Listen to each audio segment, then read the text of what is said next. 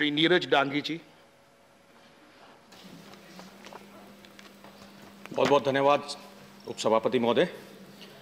माननीय सभापति महोदय, national institute of pharmaceutical education and research संशोधन bill 2021 national institute of pharmaceutical education and research act 1998 में संशोधन का प्रयास है। 1998 के एक्ट के अंतर्गत पंजाब में राष्ट्रीय फार्मास्यूटिकल शिक्षा और अनुसंधान संस्थान की स्थापना की गई थी। और उसे राष्ट्रीय महत्व का संस्थान इंस्टीट्यूट ऑफ़ नेशनल इंपॉर्टेंस घोषित किया गया था। यह बिल बेसिकली छह अन्य national institute of pharmaceutical education and research जो कि अहमदाबाद, हाजीपुर, हैदराबाद, कोलकाता, गुवाहाटी और रायबरेली में स्थित हैं, को राष्ट्रीय महत्व के संस्थान घोषित करता है। इसके अतिरिक्त यह बिल एक काउंसिल की स्थापना का प्रावधान करता है, जो कि बिल के अंतर्गत आने वाले सभी संस्थानों की गतिविधियों के बीच समन्वय स्थापित करने करने के साथ साथ फार्मास्यूटिकल शिक्षा और अनुसंधान का विकास हो और मापदंड बरकरार हो यह सुनिश्चित करता है। माननीय सभापति महोदय, जब हम मेडिकल साइंस की चर्चा करते हैं तो देश में ही नहीं, पूरे विश्व के अंदर मेडिकल साइंस को रेगुलेट करने का काम फार्मा कंपनियाँ करती हैं। ऐसे में बड़े दुख की बात है कि फार्मास्यूटिकल रिसर्च का कार्य भारत के बजाय अन्य विकासशील और विकसित देशों के अंदर ज़्यादा प्रभावी ढंग से निष्पादित हो रहा है। अतः भारत में भी इन फार्मास्यूटिकल एजुकेशन एंड रिसर्च पर अत्यधिक ध्यान देने की आवश्यकता है। यह संशोधन बिल लाया जाना निश्चित रूप से अत्यंत आवश्यक है, लेकिन इसमें जितनी भी कमियाँ हैं, उनको दुरुस्त किया जाना भी आवश्यक है और इस बिल का सही मायने में देश को लाभ मिल सके यह सुनिश्चित हो। माननीय सभापति महोदय आपके माध्यम से सदन में इस संशोधन बिल हेतु मेरे कुछ सुझाव मैं रखना चाहूँगा, जिससे इस संशोधन बिल- का उद्देश्य सफल हो सके। रसायन और उर्वरक पर स्थायी समिति की तेईसवीं रिपोर्ट के अनुसार नाइपर अधिनियम के तहत सात संस्थानों में संयुक्त वार्षिक इंटेक क्षमता केवल एक है, जिसमें 1000 स्नातकोत्तर छात्र हैं और एक पीएचडी छात्र हैं। हमारे देश की विशाल जनसंख्या को देखते हुए नाइपर्स की संयुक्त वार्षिक इंटेक क्षमता को निश्चित रूप से बढ़ाया जाना चाहिए, ताकि अधिक से अधिक लोगों को फार्मास्यूटिकल शिक्षा और रिसर्च का लाभ प्राप्त हो सके। भारत को विश्व की फार्मेसी के रूप में जाना जाता है, लेकिन दुनिया भर में लाखों लोगों को सस्ती और लागत, कम लागत वाली जेनरिक दवाएँ भी आपूर्ति करने का कार्य भारत करता है, लेकिन उसके बावजूद भी जो है इतनी कम सीटें, ये मैं समझता हूँ कि इस पे पुनः निर्णय होना चाहिए। भारतीय दवा क्षेत्र की क्षमता को देखते हुए राष्ट्रीय महत्व के संस्थान माने जाने वाले सातों संस्थानों में वर्तमान सीटें पर्याप्त नहीं हैं। इन संस्थानों संस्थानों में इन सीटों को बढ़ाया जाना अत्यंत आवश्यक है। भले ही सभी नाइपर्स को राष्ट्रीय महत्व के संस्थान के रूप में घोषित किया गया हो, समिति की रिपोर्ट के अनुसार नाइपर्स के बीच इंफ्रास्ट्रक्चर सिलेबस कैंपस एरिया और एकेडमिक एंड रिसर्च आउटपुट में भारी असमानताएँ मौजूद हैं। ऐसी स्थिति में हर मापदंड के लिए मानकों को स्थापित किया जा सकता है ताकि सुन, यह सुनिश्चित हो सके कि प्रत्येक नाइपर राष्ट्रीय महत्व के संस्थान के स्टैंडर्ड्स को पूरा कर सके। बोर्ड और बोर्ड ऑफ़ गवर्नेंस में हम अगर देखते हैं तो 1998 के एक्ट के अनुसार बीओजी की कुल संख्या 23 है। केंद्र सरकार द्वारा तैयार संशोधन नाइपर में बीओजी की संख्या को 12 सदस्यों तक युक्ति संगत बनाने का एक प्रयास किया गया है। साथ ही 90 1998 के अधिनियम की धारा चार तीन एम के तहत यह कहा गया है कि तीन प्रख्यात सार्वजनिक व्यक्ति या सामाजिक कार्यकर्ता जिसमें एक अनुसूचित जाति और अनुसूचित जनजाति से होगा, जिसे आगंतुक द्वारा पैनल में से नामित किया जाएगा। जबकि अनुसूचित जाति, अनुसूचित जनजाति समुदाय के ऐसे प्रतिनिधित्व को 2000 के इस संशोधन बिल के अंदर से हटा दिया गया है। इस तरह की चूक पर पुनर्विचार किया जाना चाहिए। और अनुसूचित जाति, अनुसूचित जनजाति के कम से कम एक व्यक्ति को बोर्ड ऑफ़ गवर्नेंस में शामिल किया जाना चाहिए। और इस उद्देश्य के लिए विधेयक में उपयुक्त प्रावधान किया जाना चाहिए, भले ही प्रस्तावित संख्या को बढ़ाकर तेरह ही क्यों ना कर दिया जाए। सामाजिक समावेश की दृष्टि से कम से कम अनुसूचित जाति और अनुसूचित जनजाति समुदाय के किसी एक पब्लिक पर्सन या सोशल वर्कर को बीओजी में शामिल करना बहुत महत्वपूर्ण और संस्थान में निर्णय लेने की प्रक्रिया में भी ऐसे सम, सम, समुदायों का समान प्रतिनिधित्व अत्यंत महत्वपूर्ण है और इससे सामाजिक समावेश भी संभव हो सकेगा। बिल के अंतर्गत सभी संस्थानों की गतिविधियों के बीच में समन्वय स्थापित करने के लिए एक काउंसिल की स्थापना का प्रयास किया गया है, जिससे फार्मास्यूटिकल एजुकेशन एंड रिसर्च का विकास तथा मानकों का रखरखाव सुनिश्चित हो। बिल में प्रस्ताव है कि काउंसिल के सदस्यों के रूप में तीन सदस्य मेंबर ऑफ़ पार्लियामेंट को शामिल किया जाए, परंतु काउंसिल में सदस्य के रूप में वे सांसद, जो नामित सदस्य होंगे, वो उन्हें मेडिकल या फार्मास्यूटिकल क्षेत्र का पूर्ण अनुभव हो, यह सुनिश्चित भी किया जाना चाहिए। इस बिल में संशोधनों या उसके अंतर्गत निर्धारित नियमों द्वारा अनिवार्य यह किया जाना चाहिए। डायरेक्टर्स की नियुक्ति के संबंध में इस बिल में बोर्ड ऑफ़ गवर्नर्स को यह अधिकार दिया गया कि भारत के राष्ट्रपति की अनुमति के पश्चात वे लोग जो है डायरेक्टर्स की नियुक्ति कर सकेंगे। जबकि नाइपर का model Indian institute of technology, IIT के आधार पर किया गया है। ऐसे में इसके अंतर्गत काउंसिल भारत के राष्ट्रपति की मंजूरी के बाद ही डायरेक्टर्स की नियुक्ति करता है। तो नाइपर्स में भी इसी तर्ज पर जो है काउंसिल जो है उसको भारत के राष्ट्रपति अनुमति दे और उसके पश्चात इनकी नियुक्ति काउंसिल द्वारा की जा सकती है, ऐसा मैं समझता हूँ कि संशोधन होना चाहिए। काउंसिल की स्थापना के तहत काउंसिल का संयोजन एवं बोर्ड ऑफ़ गवर्नर्स के सभी पद, केंद्र सरकार या केंद्र से संबंधित ही है। राज्यों का कोई भी प्रतिनिधित्व जो है काउंसिल या बोर्ड ऑफ़ गवर्नर्स में कहीं भी शामिल नहीं किया गया है। मैं समझता हूँ कि ऐसी परिस्थितियों में राज्यों के लिए इन इंस्टीट्यूट द्वारा क्या कदम उठाए जा रहे हैं, क्या कदम उनके पक्ष में है, क्या कदम उनके प्रतिकूल है, यह राज्यों के लिए जान पाना मैं समझता हूँ कि नामुमकिन सा साबित होगा। इसलिए ऐसे में आवश्यक है कि काउंसिल या गवर्निंग बॉडी में राज्यों का प्रतिनिधित्व भी केंद्र सरकार को सुनिश्चित करना चाहिए, जिसमें राज्य सरकार के प्रतिनिधियों के साथ साथ राज्य के विधायकों एवं अन्य जनप्रतिनिधियों को भी इसमें council of board of governance में शामिल किया जाना चाहिए। यद्यपि सात नाइपर प्रस्तावित किए गए थे, लेकिन सिर्फ़ पंजाब स्थित मोहाली नाइपर ही स्थापित हुआ है। जिसका कि कैंपस बनकर के पूरी, तर, पूरी, पूरी तरीके से तैयार हो गया है। वर्ष 2012 में तमिलनाडु में मदुरई राजस्थान में झालावाड़ महाराष्ट्र में नागपुर छत्तीसगढ़ में नया रायपुर और कर्नाटक में बेंगलोर में पाँच नाइपर बनाने का प्रस्ताव तब से लंबित है। परंतु वित्त वित्त मंत्रालय के अंतर्गत एक्सपेंडिचर फाइनेंस कमेटी ईएफसी ने नाइपर्स को स्थायी कैंपस बनाने के लिए अनुमोदन प्रक्रियाओं में उलझा के रखा हुआ है जो सर्वथा गलत है। वर्ष 2015-16 के केंद्रीय बजट भाषण में चारों, चार राज्यों में नाइपर्स स्थापित करने की घोषणा की गई, जिसमें छत्तीसगढ़, राजस्थान, महाराष्ट्र एवं तमिलनाडु राज्य शामिल हैं। 26 मार्च 2018 में ईएफसी ने चारों चारों राज्यों में जो न प्रस्तावित नाइपर्स की स्थापना के समेकित समेकित जो प्रस्ताव हैं उस पर विचार किया और ईएफसी ने नाइपर्स के स्थापना प्रस्ताव प्रस्ताव को बाद में स्थगित कर दिया।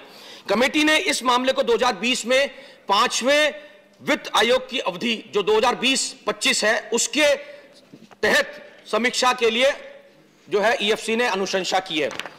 माननीय उपसभापति महोदय, मेरा मानना है कि कोरोना महामारी के पश्चात अब देश को यह समझ लेना चाहिए कि मेडिकल फ़ील्ड में और रिसर्च के अंदर हमें जो है अत्यंत आवश्यकता है कि देश इसमें उत्कृष्ट कार्य करे और ऐसी स्थिति के अंदर देश के वित्त बजट को भी इस क्षेत्र के अंदर जो है पूरी तरीके से सही रूप में उपयोग में लाया जाना चाहिए ताकि ऐसी विकट परिस्थितियों में देश जो है ऐसे ऐसे महामारी जैसी चीज़ों से, ऐसी परिस्थितियों से डट करके मुकाबला कर सके, लड़ने में सक्षम हो सके।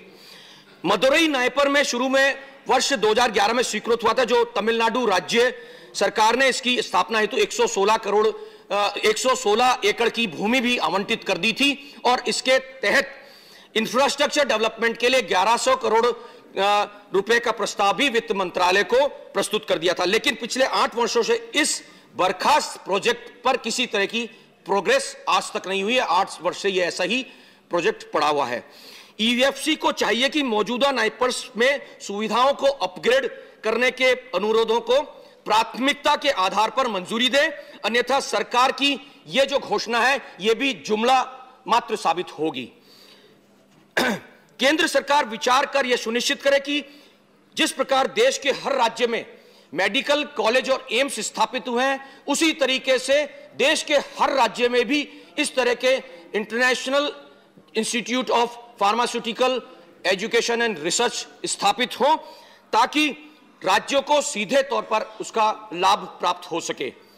जब हम स्वास्थ्य संबंधित क्षेत्र की बात करते हैं तो स्वास्थ्य के क्षेत्र में राजस्थान के मुख्यमंत्री श्री अशोक गहलोत जी अत्यंत ही संवेदनशील हैं, और ये मैं दावे के साथ कह सकता हूँ कि अगर राजस्थान में जो है नाइपर की स्थापना की हम पहल करेंगे और मुख्यमंत्री से निवेदन करेंगे तो निश्चित रूप से वो बिना हिचकिचाए, एक क्षण गवाए बिना नेशनल इंस्टीट्यूट स्थापित करने के लिए भूमि आवंटन को निश्चित रूप से तुरंत प्रभाव से स्वीकृति प्रदान करेंगे।